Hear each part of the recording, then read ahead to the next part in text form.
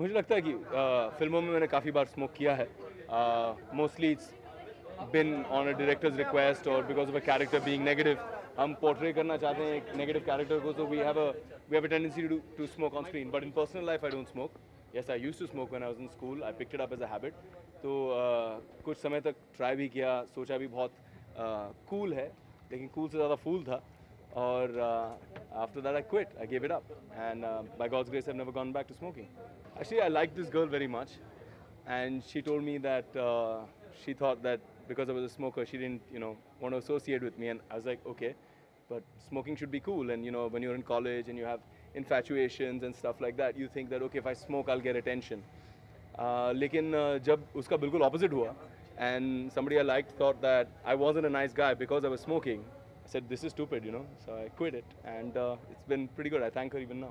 We did an anti-smoking ad some time back. CPWA and, uh, and I associated on it and um, it was so successful because it was like I don't know if you remember it, but it was an ad where I became a murga, and uh, it was like punishment. It was a confessional that you know everybody smokes. It's not that anybody's holier than thou, and it really worked with the youth. And I've met so many young people who turned around and said, you know what, that ad really made us think about it, and we just quit smoking. You know, it's just so uncool to smoke. And uh, uh, facts tell us that it's the most widely watched um, health advisory documentary ever, ever and World Health Organization, you know, gave me a citation for it. They sent me a certificate from Geneva. Uh, even, you know, uh, the United Nations sent me, you know, a certificate of merit for it. So it was a fantastic experience doing that. I mean, you know, we do it and we think कि इसका ये कौन देखने वाला है, कौन influence होने वाला है, but बहुत लोग influence होते हैं. इसलिए मैं आपसे कह रहा हूँ, क्योंकि I think you guys can make the difference. You can influence it. Like you do all the interesting bits with Sansani case covers and stuff like that and scandals. Maybe you could make this interesting. I make it a point to tell people, all my fans who are watching and young people who I meet, that smoking is not cool. I don't smoke in real life. If I'm playing a bad character, if I'm playing a negative character in a film, then I do lots of things. I gun people down, but I don't do that in real life either.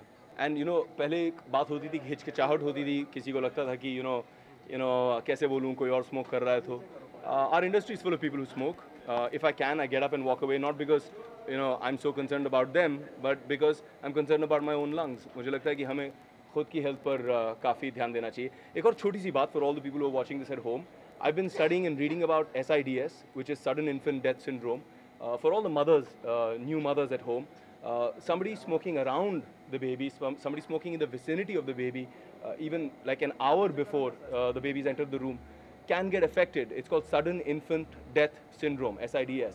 And it can kill your baby, it can kill your child. It's that serious. It's a very real thing. It happens all over the world.